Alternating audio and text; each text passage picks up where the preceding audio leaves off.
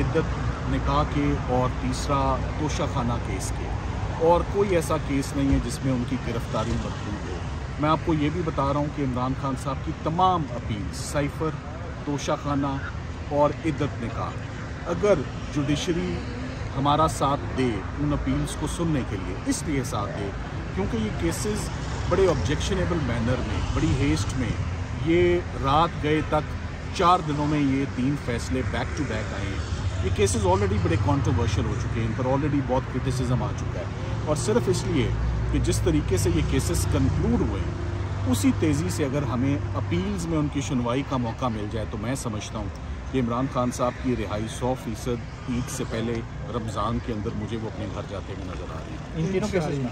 इन तीनों केसेस में ये एक एक दिन का केस रह गया है। तो एक एक दिन का केस है इसमें रिहाई मिलती है और वो ईद से पहले अपने घर जाते हैं। ये अब अदलिया पे डिपेंड करता है हमें वो अपॉर्चुनिटी ईद से पहले मिलती है। जब केसेस बोगस हों पॉलिटिकल विक्टिमाइजेशन हो सत्रह महीने से ये चल रही हो तो इलेक्शंस भी हो गए हैं बार बार मैं कहता हूँ।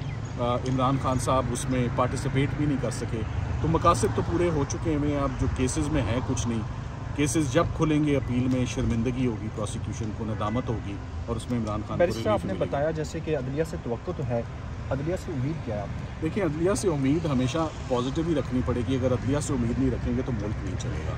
हमारा निज़ाम नहीं चलेगा। इंसाफ का निज़ाम नहीं चलेगा। अदलिया को मज़ीद जो है एक एक्टिव रोल ज़रूर अदा करना है आने वाले दिन में। उस चीफ जस्टिस पाकिस्तान भी हैं वो इस्लामाबाद हाई कोर्ट के चीफ जस्टिस भी हैं, लाहौर के भी हैं। पॉलिटिकल विक्टिमाइजेशन की जो वेव चल रही है, जिसने पूरे निज़ाम को अपनी लपेट में लिया हुआ है, और ये पॉलिटिकल विक्टिमाइजेशन हमेशा से चलती रही है। ये पॉलिटिकल विक्टिमाइजेशन आसिफ अली जरदारी साहब के ख़िलाफ़ भी होती रही, नवाज़ शरीफ साहब के ख़िलाफ़ भी होती रही, उनकी भी पूरी कैबिनेट रही।